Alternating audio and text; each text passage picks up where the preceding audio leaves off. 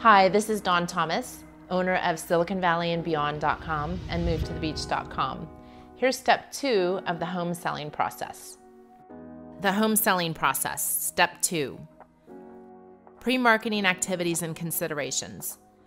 Now that you've chosen a realtor, completed the necessary paperwork, and consulted with your advisors, it's time to begin preparing your home for sale. This is the time to get organized and declutter each room in your home.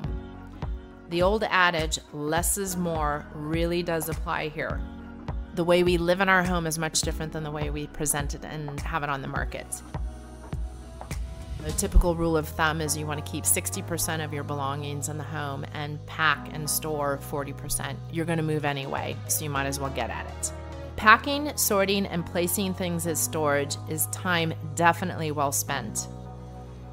You are guaranteed to get more interest if buyers can easily see the size of rooms, potential furniture layout, and available storage.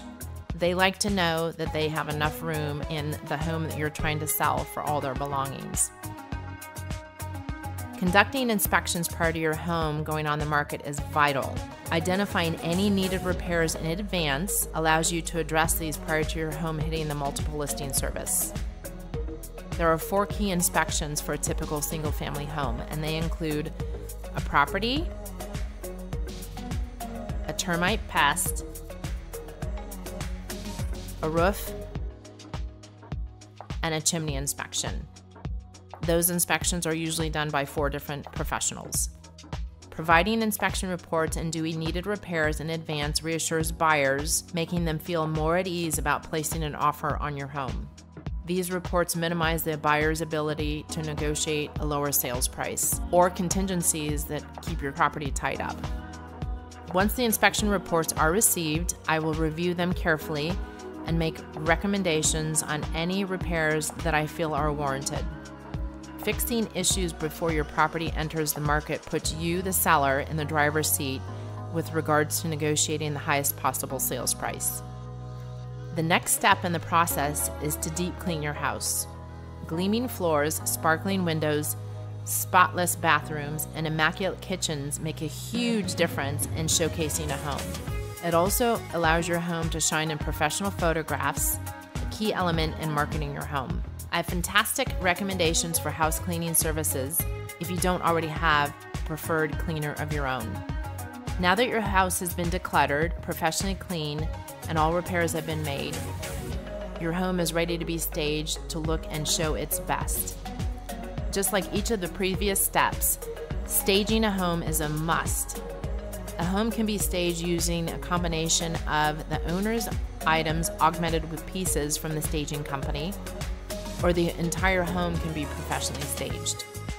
Staged homes yield sellers approximately 3 to 6% more on their bottom line more than non staged homes. Last but not least is having your residence professionally photographed. This is a vital key step before putting your house on the market. Photos are generally scheduled and paid for by your realtor as part of the marketing of your property. You don't need to be home when the photos are, are taken. As a matter of fact, we prefer that you're not. We will let you know when the photographer will be on site so that you can do a few final touch ups to prepare. Depending on the size of your house, the videographer and photographer are usually the same person. If an estate or home warrants it, we have a separate party who will shoot a drone video. Before your home goes on the market, my team and I will let other realtors know about your residence. This is called a pocket listing.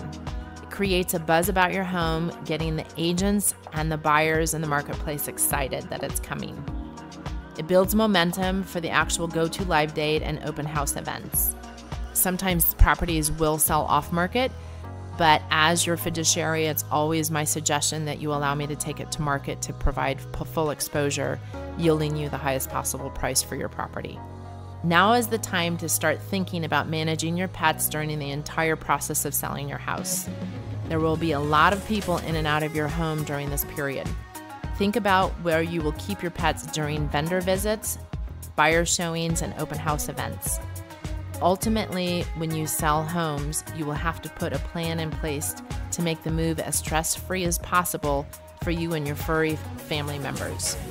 If you need any suggestions in this area, do let me know as I have two dogs myself. You'll find all of this information and more in much greater detail on our website, siliconvalleyandbeyond.com, under the Sell tab. Thank you. So let's move on to the next step.